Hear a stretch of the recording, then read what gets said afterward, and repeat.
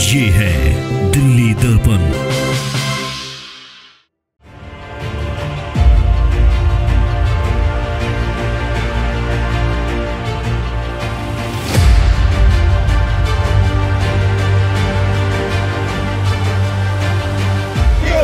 अब की बात अब की बात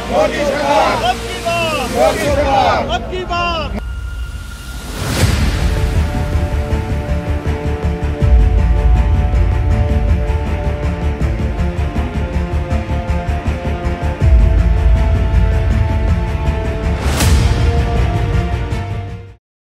दिल्ली लोकसभा चुनाव में बीजेपी ने टिकटों की घोषणा में ही बाजी नहीं मारी, बल्कि प्रचार और जनसंपर्क अभियान में भी वो इंडी गठबंधन से काफ़ी आगे निकलकर हर वर्ग तक पहुँच रही है। इसी कड़ी में नॉर्थ वेस्ट ज़िले में बीजेपी ने व्यापारियों के साथ भी संवाद किया। इस व्यापारी संवाद को संबोधित करते हुए केंद्रीय मंत्री पीयूष गोयल, दिल्ली बीजेपी अध्यक्ष वीरेंद्र सचदेवा, रोहिणी से विधायक विजेंद्र गुप्ता जिला अध्यक्ष गौतम सहित समस्त लोकसभा क्षेत्र से कारोबारी और व्यापारी शामिल हुए। इन व्यापारियों ने केंद्रीय मंत्री पीयूष गोयल को अपना ज्ञापन सौंपा और उम्मीद की कि अब की बार भी बीजेपी सरकार बनेगी और व्यापारियों के लिए नए जोश के साथ काम करेगी और देश को विकास पथ पर आगे बढ़ाएगी। मैंने दिल्ली के मुखिया वीरेंद्र सचदेवा जी को निवेदन किया है कि जैसे ही दिल्ली में सरकार शपथ कर ले उसके पश्चात सबसे पहले हमारी बिजली का मुद्दा सॉल्व होना चाहिए। जो आठ रुपये की जगह हमसे अट्ठारह रुपये प्रति यूनिट चार्ज किया जा रहा है जिसकी वजह से दिल्ली से उद्योग पलायन कर रहा है सबसे पहले इस मुद्दे को हल किया जाना चाहिए। इसके लिए ये हमारे मुद्दे को लेकर प्रधानमंत्री के पास जाएँ बिजली मंत्री के पास जाएँ संसद में जाएँ विधानसभा में जाएँ कैसे भी कहीं भी कैसे करके ये इस बिजली के मुद्दे को हल करें, ये जो लूट मची हुई है, जब से जनता वो आप पार्टी आई है, इन्होंने बिजली के रेट में ऐसी आग लगा दी है, इनका पूरा ही नहीं होता, कितना ही लूट लें पूरा ही नहीं होता, और लूट के बाद और लूट और फिर और लूट।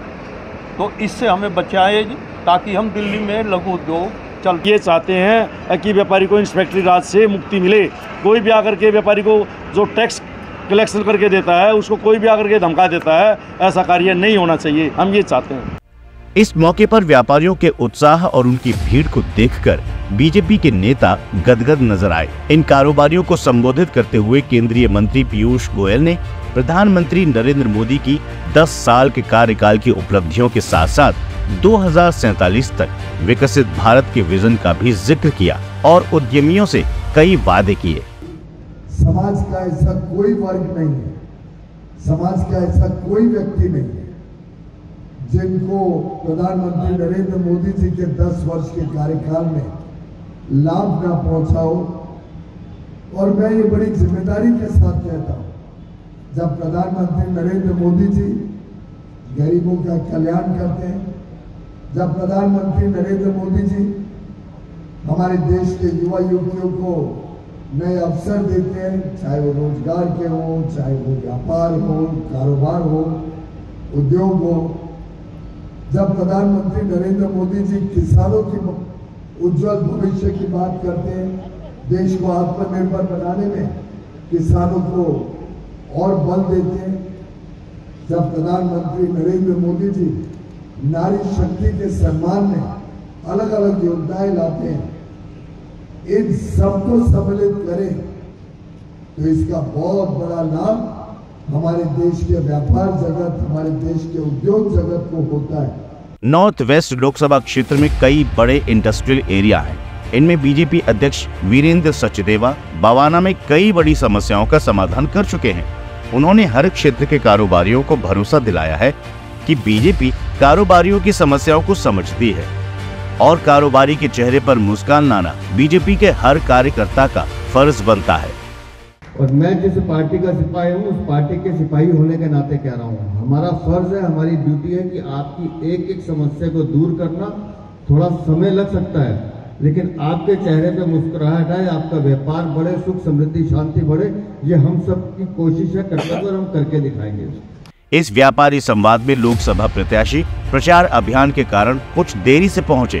सभी ने लोकसभा उम्मीदवार योगेंद्र चंदोलिया को शुभकामनाएँ दी और भरोसा भी दिलाया कि दिल्ली में बीजेपी सातों सीटों पर विजयी होगी और नॉर्थ वेस्ट दिल्ली तो सबसे ज़्यादा मतों से बीजेपी को जिताएगी। ब्यूरो रिपोर्ट, दिल्ली दर्पण टीवी। लेटेस्ट खबरों के लिए सब्सक्राइब करें हमारा यूट्यूब चैनल या फिर लॉग इन करें डब्ल्यू खबरों की कवरेज और विज्ञापनों के लिए संपर्क करें।